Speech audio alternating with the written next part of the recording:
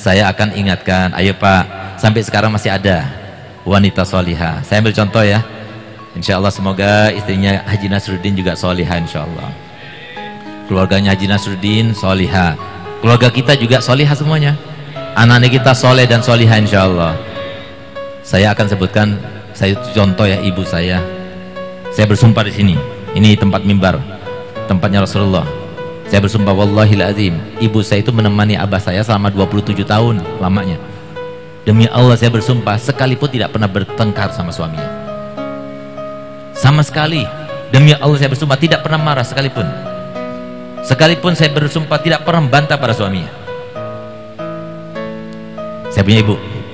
Sehingga subhanallah ada dari keluarga yang bermimpi Abu Bakar Adni yang meninggal 1100 tahun yang lalu. Beliau diimpikan oleh keluarganya dan dalam mimpinya mengatakan rahasia dan sir serta paku buminya pondok dalwa yang terkenal itu itu adalah ada pada diri seorang wanita yang solihah yaitu Baba Khadijah binti Habib Muhammad al-Hinduan. Sampaikan salam kepadanya.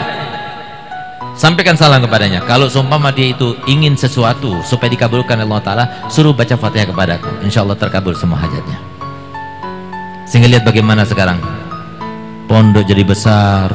Kenapa kesalihan apakah pada waktu dulu beliau itu melaksanakannya menjadi istri yang tanpa tidak pernah bertengkar nggak marah nggak membantah apa nggak sakit hatinya? Nggak sakit hatinya? Sakit. Saya pernah berapa kali saya melihat ibu saya di rumah besar. Di situ ada beberapa keluarga. Ibu saya yang mencuci ibu saya kora-kora demi Allah saya melihat ketika memandikan saya di masa kecil itu ibu saya itu meneteskan air mata tapi subhanallah tidak pernah mengadu pada suami. Sehingga sekarang ini setelah tua dan kita doakan semua panjang umur sehat walafiat itu beliau kena penyakit Parkinson. Dan subhanallah Parkinson sampai sekarang belum diketahui sebab utamanya itu apa. Tapi besar kemungkinan dari penelitian para dokter bahwasanya dia itu banyak menyimpan di dalam hati. Tidak ditampakkan, tidak dikeluarkan sehingga jadilah kena Parkinson itu coba lihat. Kemuliaannya dimuliakan Allah Ta'ala sampai-sampai suatu waktu ketika kami berangkat ke kota Aden. Pertama kalinya kita masuk kota Aden. Subhanallah kami datang masuk ke hotel tiga hari tiga malam di situ. Makan semuanya disiapkan dan sebagainya. Sampai ketika kita akan check out kita akan bayar. Eh ternyata sudah ada yang menanggungnya. Sudah dibayar. Saya kan nggak tahu saya akan berterima kasih. Saya cari tahu orangnya eh ternyata apa ternyata yang membayarnya itu adalah orang kaya yang ada di kota Aden. Dia itu bermimpi Abu Bakar Adeni dan dia mengatakan akan datang tamuku dari Indonesia. Namanya Baba Khadijah. Maka semua itu tanggungan saya.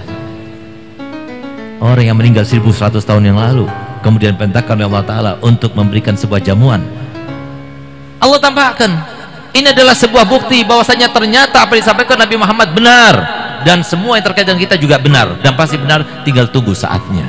Apa kata Nabi Muhammad innal birra la yabla waz-zamba la yunsa. Wad-dayyan la yamut. Faf'al ma syi'ta fakama tadinu tudan. Yang namanya kebaikan tidak mungkin sirna. Yang namanya dosa tidak mungkin dilupakan. Yang namanya zat yang maha menuntut balas selalu ada. Innallaha kana alaikum raqiba. Mengawasi terus. Kalau kalian sudah tahu tiga hal itu silahkan. Lakukan kebaikan silahkan. Mau lakukan keburukan silahkan. Mau jadi wanita solihah silahkan. Mau jadi wanita durhaka kepada suaminya silahkan tapi yang merasakan dia sendiri. Bukan orang lain bukan orang lain